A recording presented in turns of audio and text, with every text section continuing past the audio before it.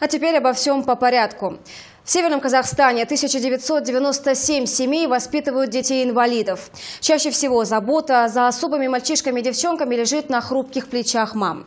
В канун 8 марта женщин, которые посвящают свою жизнь воспитанию детей с ограниченными возможностями, чествовали в партии Нуротан. Кристина Юсичева знает, что им подарили к празднику.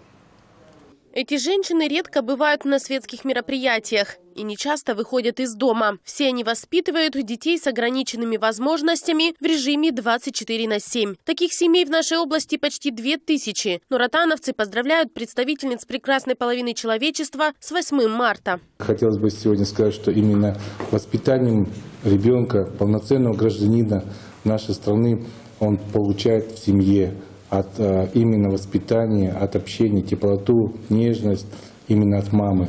И мы хотели бы вам выразить слова благодарности за ваш труд, за вашу любовь.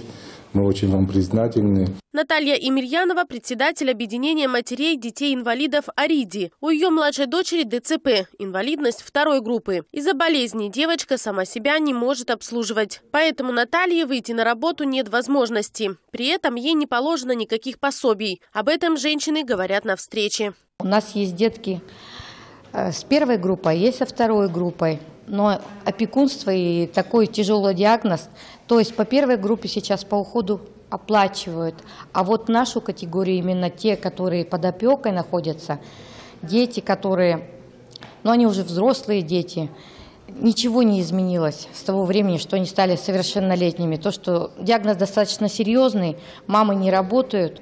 И вот хотелось бы обратить, чтобы на это внимание, чтобы нам платили по уходу. С учетом поручений президента, они тоже хотели бы получить дополнительную государственную поддержку. В честь Международного женского дня им вручили сертификаты в один из супермаркетов города. И, конечно же, цветы. Спасибо. Извините, вот такой небольшой сертификат на 15 тысяч. Зинеп Кажабаева воспитывает троих детей. У младшей дочери Алмы, ей уже 34 года, ДЦП. Но болезнь не помешала ей окончить школу и университет. Я всю жизнь занималась воспитанием и развитием дочери. У нее есть образование, но работать она, конечно, не может. Мы все делали, чтобы она была полноценным членом общества. Я всегда рядом с дочерью. Праздничное настроение гостям подняли музыкальные номера.